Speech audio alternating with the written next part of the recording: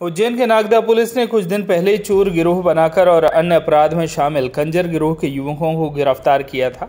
मुठभेड़ के दौरान हुई नागदा पुलिस इन बदमाश चोर गिरोह के कंजर युवकों से पूछताछ कर रही थी और जाँच कर रही थी। नागदा पुलिस को सफलता मिली। इन चारों से पूछताछ करने के दौरान बताए हुए जगह पर गई और नागदा पुलिस ने राजस्थान के लाखा खेड़ी के आसपास कंजर डेरों पर घेराबंदी करके जाँच की। तलाशी ली तो जंगल के अंदर करीब आठ से ज़्यादा चोरी की मोटरसाइकिल, कीमती सामान और मवेशी जानवर सहित अन्य सामान जब्त किया। लाखों रुपए कीमत का सामान नागदा पुलिस ने इन चोरों से गिरफ़्तार किया है। दिनांक चार पाँच दो हज़ार बाईस को जो टुटिया खेड़ी में कंजर से जो पुलिस की मुठभेड़ हुई थी, नागदा पुलिस की तो उसको ही पुलिस रिमांड पर लिया गया था।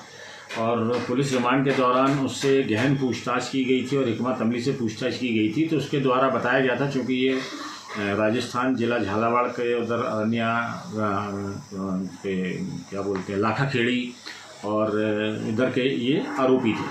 तो इनके द्वारा जो यहाँ पे चोरी की गई थी, और भी कई जगह चोरी की गई थी तो उसमें भैंसें और मोटरसाइकिल इसके द्वारा बताया गया कि अरनिया और लाखा खेड़ी के जंगलों में इन्होंने छुपा के रखी हुई है उस पे ही आधार पे से हमारे नागदा पुलिस, टीआई साहब, श्यामचंद शर्मा जी और उनका पूरा स्टाफ, प्लस चूँकि कंजरों के डेरों पे जाना था तो इसलिए उन्हेल थाने का फोर्स बिरला ग्राम थाने का फोर्स, खाचरौद थाने का फोर्स और महितपुर रोड के एस एसएचओ हेमंत सिंह जादौन साहब और उनके बल के साथ में एक ये टीम का गठन करके इनको बरामदगी के लिए मैं उलझिम के भेजा गया था।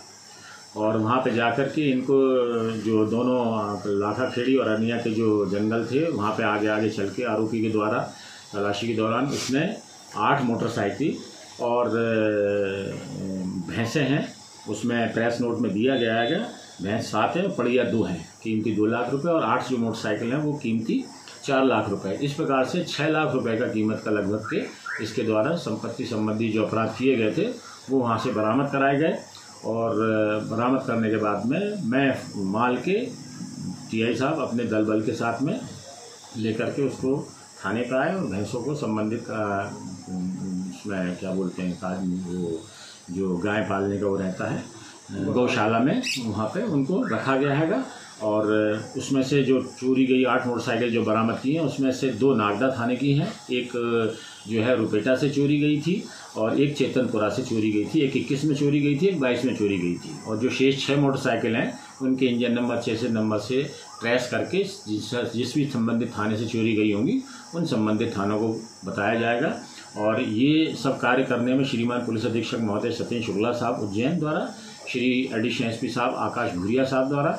इसमें हम लोगों को बहुत ही फ्री हैंड दिया गया है और सतत मार्गदर्शन दे रहे थे और जो संसाधन चाहिए थे हमको, वो वरिष्ठ अधिकारियों के द्वारा उपलब्ध कराए गए हैं और उनके मार्गदर्शन और संसाधन उपलब्ध कराने पर हम लोगों को ये सफलता उज्जैन से वीरन शर्मा की रिपोर्ट।